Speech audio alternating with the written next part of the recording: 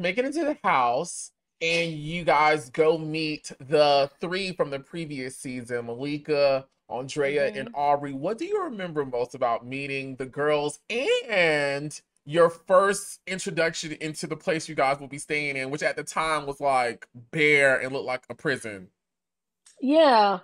Um, I mean, we were all, I mean, I can't say we were all young. I was 20 years old. And so, you know, we had excitement like, oh my gosh, look at this. We're going to have this experience. You know, I'm an energy person. I'm an energy reader, so to speak. Um, and so it was just a it was a thing. Like, you know, coming in with these three girls who were there, it was like obviously y'all trying to already not these women, but the show. Like this is this is clearly a recipe for drama and like mess to have these three like senior girls and all these other new girls and they were already told that they weren't necessarily enough but they were enough to like so it was um i remember it being a little awkward. I remember um liking malika a lot. Like i felt uh, her energy um was was positive. And i remember feeling like she was um a little older than some of us. And so just kind of like mentor guidance like somebody who wasn't necessarily about mess. Um uh got bad vibes from Aubrey very early on. Um, Really? Yeah, and and you know, again, I don't want nobody coming for me, but I just yeah, we we didn't we didn't get along very well. And I'm and I and I I am a lot um as a person. I stand on that. I like that about me. Um but I am I'm I'm a nice person. I'm a respectful person. Um and I think most of all, which I should have started with, I'm an authentic and real person. And I recognize about myself, I really, really struggle. And this is a me thing. This has nothing to do with this, the other people. I struggle with people who I feel are not genuine and are not authentic. And so it, it creates a, you know, just a thing for me. Um, Andrea was super sweet. That was it. I, I, you know, she was very, her personality was a little dry. Actually, you know, she was nice. She was a Mhm, nice girl with a with a huge, beautiful, beautiful, beautiful voice. mhm. Um, beautiful, beautiful voice. That girl was so talented. Um, but yeah, Aubrey and I just never gelled. Um, we never gelled. I, I had a really I had a hard time with, and everybody was who they were, right? There are cameras in your face all day, and you get used to that faster than you realize. Um, and then you just start to notice people whose behavior changes as soon as cameras, you know, the the real boom cameras on your face. And that was the thing that struck me the most and made me feel like, nah, I gotta have I gotta have distance here because this what y'all getting, baby, you gonna get it when the camera's on, when the camera's off, you gonna get it when I'm in the bed, when I'm out the bed. The, and and those I think were the people who I gravitated to. Um, and so yeah, and so the feeling that you are this way when nobody's looking, and then when the camera's on you, it's kind of like a whole different scene. That was really, really hard for me. And we had we had some some moments like this, you know, when we were on the show. wow. Okay. You can say a word, you can say a memory, you can Okay. say a sentence, you can say whatever it whatever I want. Okay. Whatever you want to say. It could be good, it could be Mhm. bad, it can Okay. be ugly, and it Okay. can be indifferent. Are you ready? I guess. Let's get it. Okay, the first name I'm gonna throw at you is Amber. Oh my my heart. My heart. Amber, oh my goodness. I love that girl. We hung out after the show. We stayed connected. We are still, we still are connected through that. social media now. We saw each other. She came out from California, visited me when I turned, I don't remember, maybe when I turned 22, 3, something like that. She came out for like a birthday party I had. Like that girl was, I really, really messed with Amber a lot. I really did. And she helped me with my dancing when we when I was on the show. Mhm. You know, she had my back. She had my back. And I had hers. Very, very talented. Um, I ain't got nothing negative to say about Amber. That was my girl. I love that. Next Yeah, on the that was my list is Malika. Oh, mentor, um, level-headed, um, ve- very, very cool girl, down to earth. Um, I loved her. I loved her vibe. I did.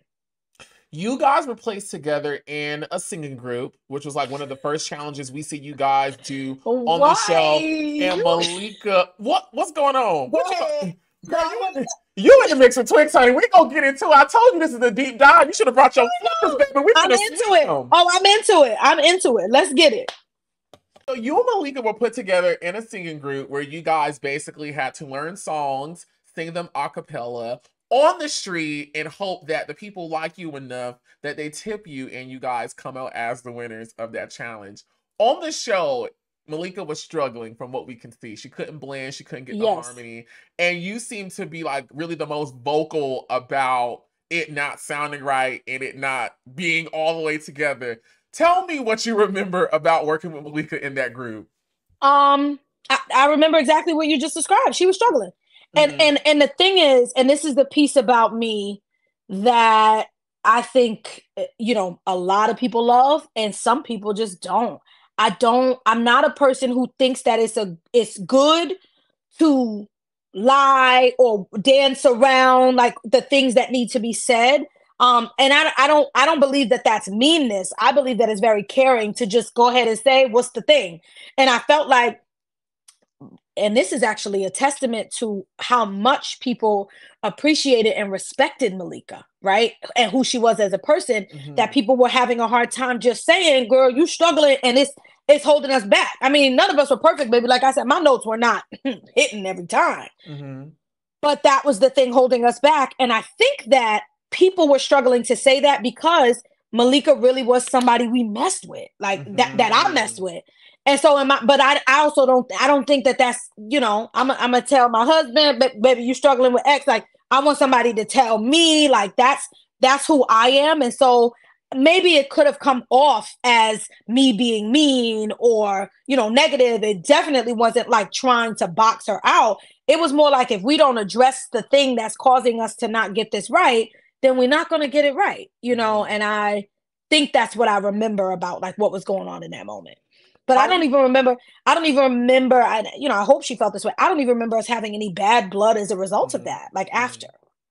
How were you guys able to pull it together? Because it looks like she got it together the day it needed to be together. Yeah, I mean, we just kept practicing. We just kept Gotcha. practicing. But I, I think naming the thing helps. hmm So The, the Bible says you got to call it out by name. You know what I'm saying? what I know. on the list is Tiffany. Oh my Tiffany. Oh my God. Tiffany, she found me on she found me on Instagram um a couple years ago. I was so excited about it. Um m- Ti- Bro- broken heart. That's what comes to my mind because she was that girl's voice. I mean, she was so tremendously talented. I had no idea about the drama about her being underage, like all of that stuff. And so we were really sad. I, I was I keep saying we. I was very sad um when she left the show. Um, I had no idea about the like scandal, you know, at the time, What but was like the scandal? she was underage, How old was she? 16.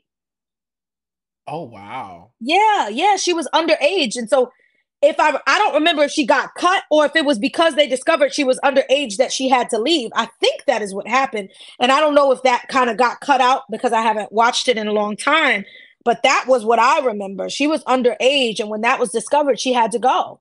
And people were not happy. I mean, the girl was talented. She could And she injured herself. She injured herself. Mm-hmm. Her She hip. like a yeah, she injured her hip. Um, so maybe that is how it was discovered actually, because you know, 20 years you got to get the memories. Maybe it was when she injured her hip and they had to go and do doctors and all of that stuff. I think it was discovered then because you got to have the real documentation to see the doctors that she was underage and she had to leave. And that I mean, that was just tragedy. The girl was talented. My gosh. She could sing So. Baby, up and down. She Yeah, Tiffany was down. yeah, this game is not that hard. Oh, good. All right, well, let's turn it up a little bit. Denosh. Oh, Denosh. You know, Denosh was um again like like a like a, a mama in the house. Kind of like Malika. You know, Denosh was like that. I think Danash had not very much patience for some of the mess because she was a back a re, like background singer for Justin Timberlake, background singer for Diddy. She was heavy in the industry and so I She was a background Think- singer for Diddy?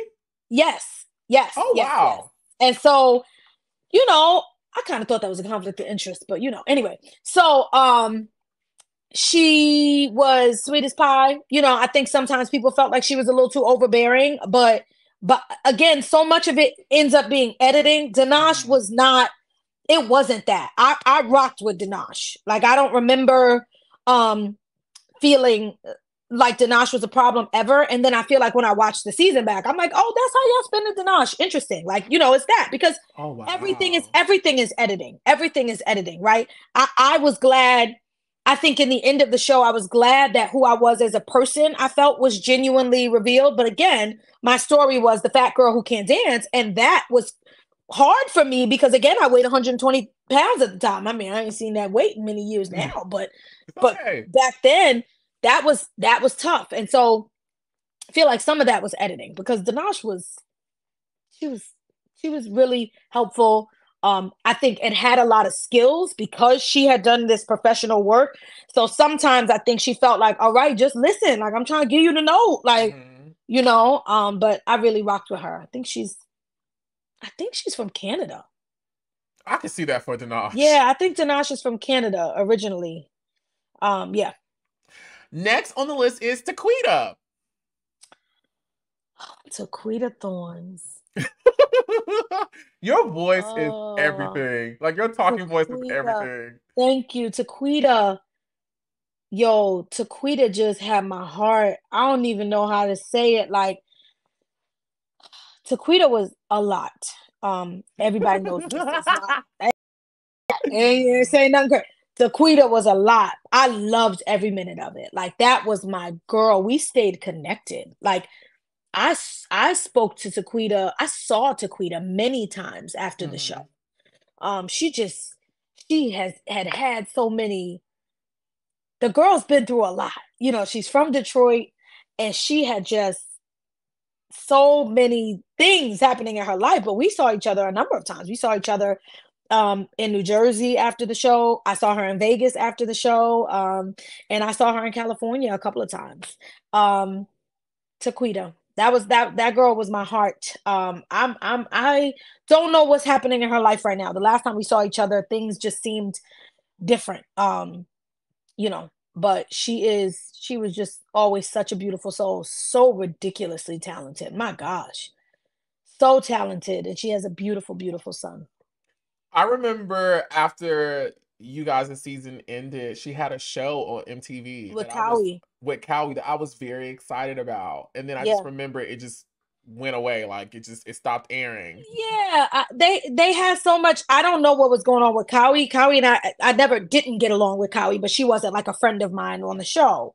Um, I believe that something fizzled, and I don't know if it was Taquita getting pregnant because Taquita had a baby.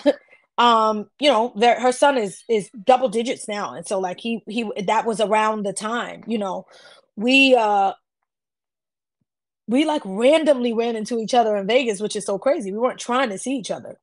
Randomly saw each other in Vegas. She had a brand new baby, and that was around the time that i- i- within a couple of years of when their show was supposed to be. So I don't actually know why the show got canceled. I don't know if they I feel like there were some episodes. Yeah, Um, it. yeah, I was gonna say there were some episodes, so I don't know if it was, you know, Taquita getting pregnant or what happened. But Taquita Thorne. I want to find Taquita Thorne so bad. Yeah, it, we you know we could talk offline a little bit. Gotcha. That's Love that that. my girl, my girl, my girl. Side note: are, are you involved in church? No, Really? yeah, people people are all, often shocked by that. I didn't grow up in the church, so my I was raised by a village. My parents were very very young when they had me, and so Mhm. um we lived with my great grandma, and she was a Jehovah's Witness. Which Mm. is about as orthodox of a Christian you could get. You know, ain't Mhm. no holidays, ain't no pants, ain't no, you know, it was a lot of that. And so I think, I think my mom just really ran away from religion as soon as she could with with with how intense of a religion a religion she was kind of born into Mhm. um or being raised in so yeah I, i've been in and out of church you know of, of my own uh, on my own um i've been baptized but i i didn't grow up in the church Only reason why I ask, your voice has so much authority. Like it has such a power and a presence. Like Thank that m- reminds me of hearing women talk in church. And, you Yeah. know, yeah, that's why I asked. i, I Oh. just women in my family because they I all got that. it. Mhm. Love that. Next on the list is D Woods. Oh, yeah. Uh, you said to say the first thing, and I gotta do what I gotta do. Um, I think the first thing that comes to my mind is like, hold on now. Um, on the show, got along. I mean, you, I mean, so sweet. We got along. She was great. She was talented. She was level headed. Like she was really, really awesome when we were on the show. But remember, when we were on the show, um, her name was Wanita. It wasn't D Woods. That Mhm. changed when the show was over, or as the I don't remember how that changed. Um, and so I don't know if you know, you know, she's from Atlanta. Mhm. Uh, her and her sister. Her sister's Mhm. also in the industry. I think was with Mhm. Young Money. Young Money. Um, Shanell. and so we would every once in a while run into each other. We didn't stay connected. Like I stayed connected to a number of women when that show was over. Um, but we did not stay connected. And so, but not in a negative way, just like, you know, you off being in a singing group. And so my younger brother is a tremendously talented dancer, and he was in the dancing industry in Atlanta. He was a part of um Dance 411, which is a big like dance company out Mhm, there. mhm. And so they used to do these big showcases.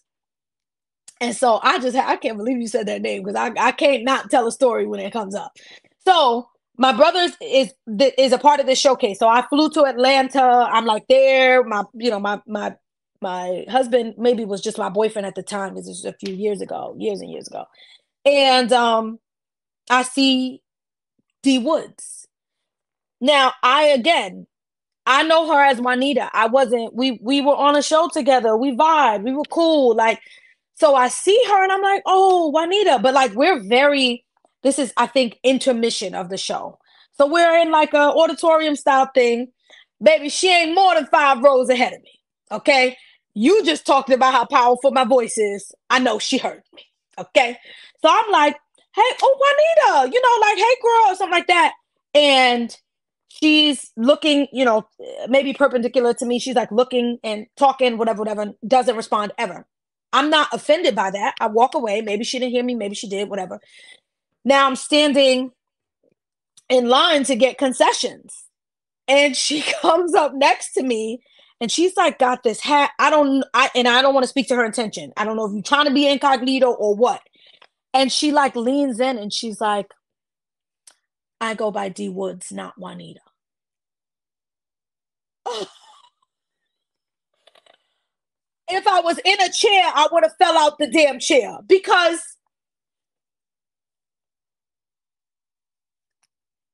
okay.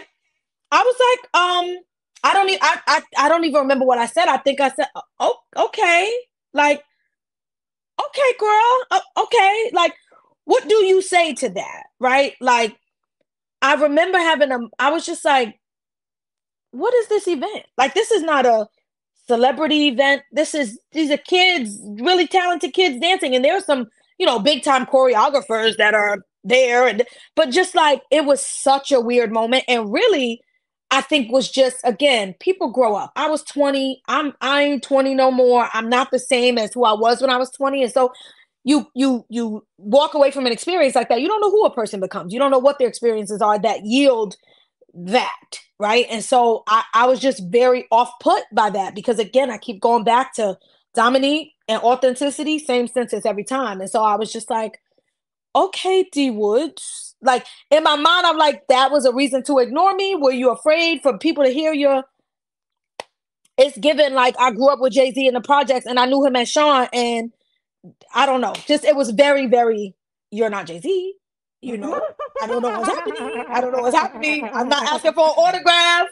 I was, I saw someone I knew that I had a beautiful relationship with when we were in, you know, on TV together, and I was trying to say hello. I wasn't trying to uh, blow your cover. I wasn't trying to out you as Wanita. It was a very, very bizarre moment. And that was uh that was it. That was it. So That that's it.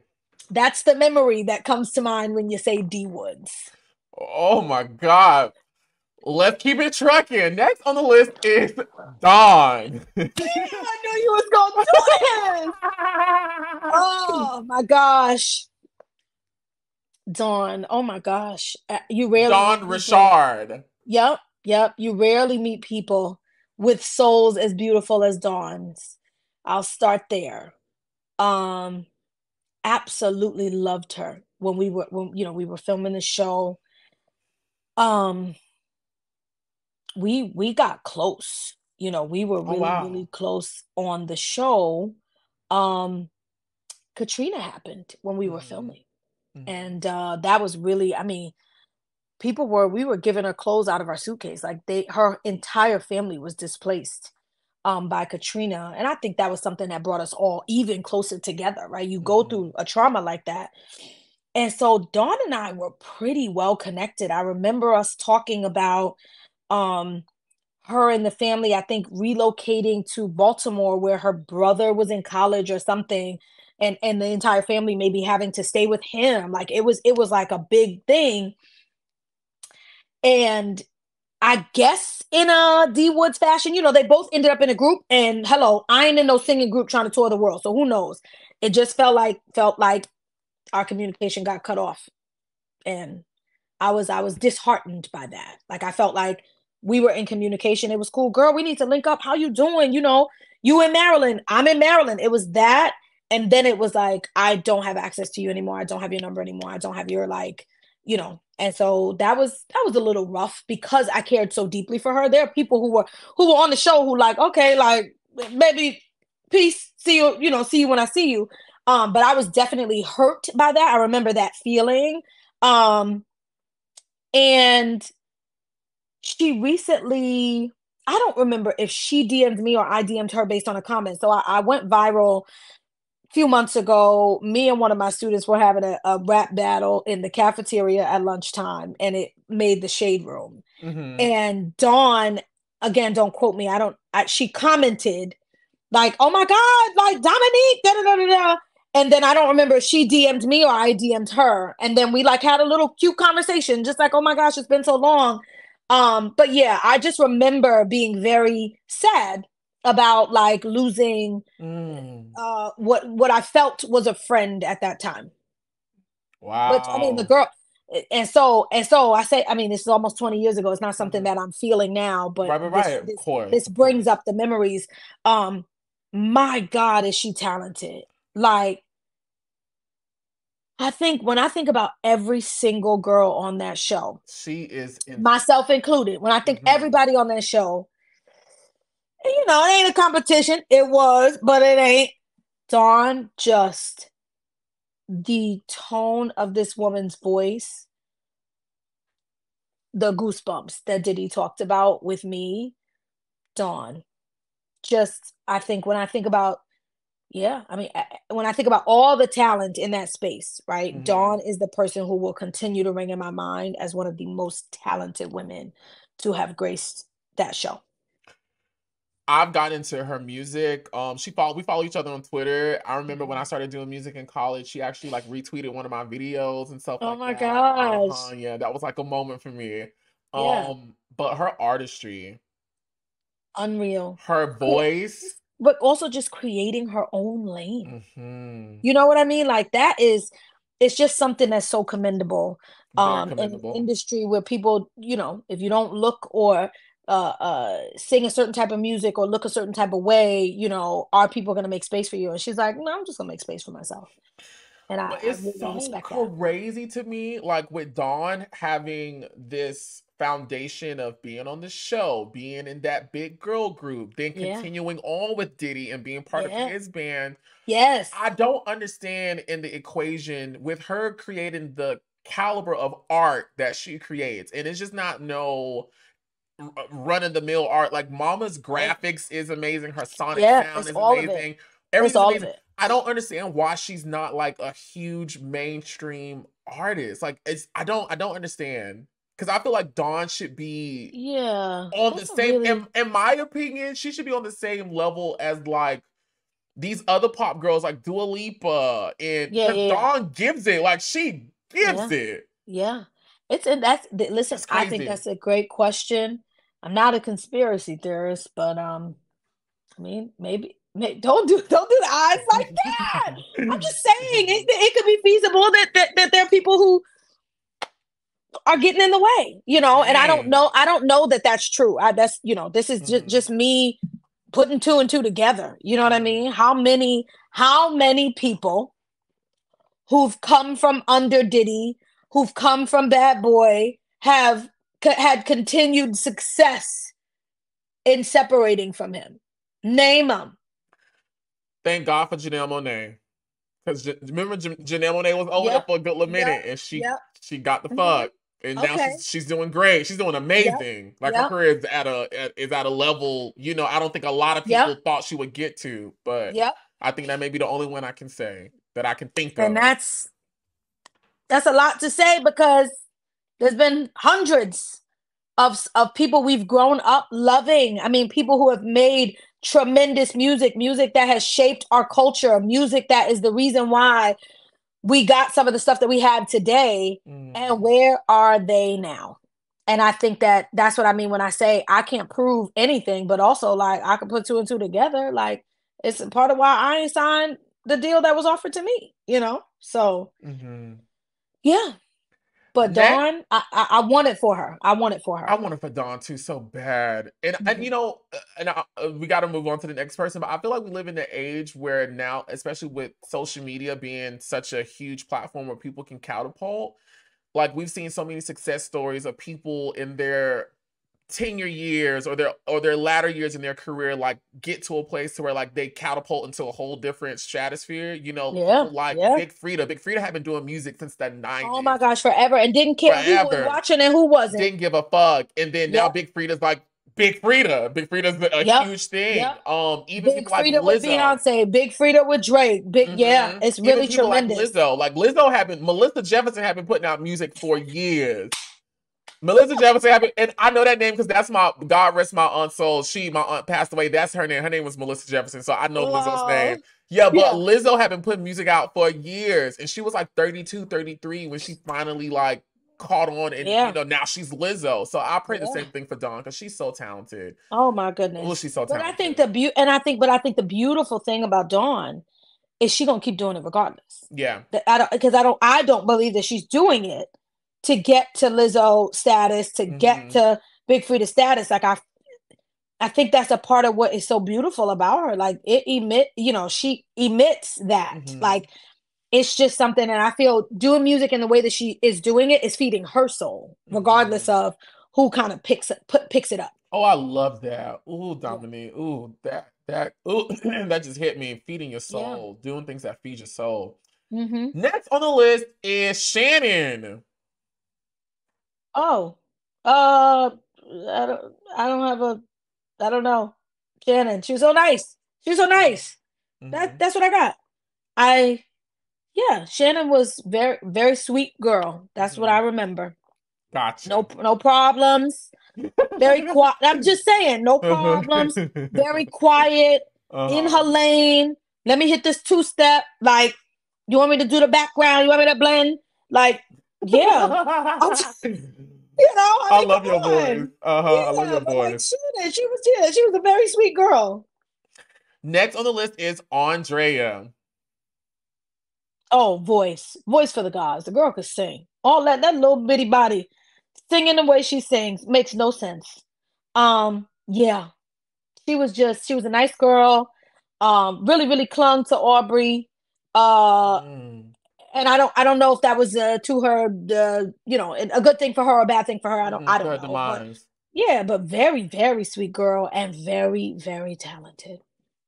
Yeah. All right. Now, thank you guys so much again for watching. We're about to head to a commercial break, but don't go nowhere. Make sure you stay in the mix with Twixt because we'll be back with more after this. Bitch, I just rapped. Did you really think that was it? Baby, get ready for yet another big night in web reality. Not only do we chase the beat, we set the tone, honey, for one more show-stopping night. Presented by me, Oliver Twixt, the second installment of Chasing the Beat, a celebration of queer art and creativity is here. Join us as some of the stars from Chasing Atlanta take one final bow. Plus, special appearances from some of our faves from Dallas and even Los Angeles.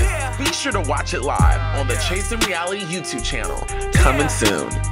I get the bag, you get the bag, we get the bag. All my hitters in the club gon' get the bag. Ryan get the bag, Ryan get the bag, get it. Ryan get the bag, Ryan get the bag, Yo.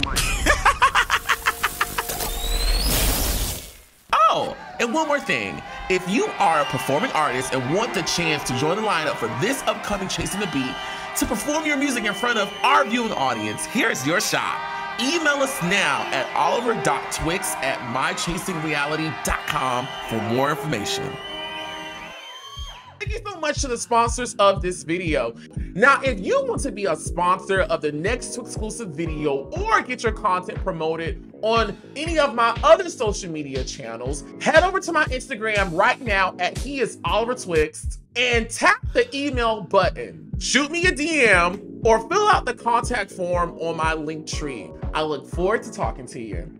Now let's get back to the show. Now we're gonna turn it up just a little bit more. Next on the list is Doc Holliday. Oh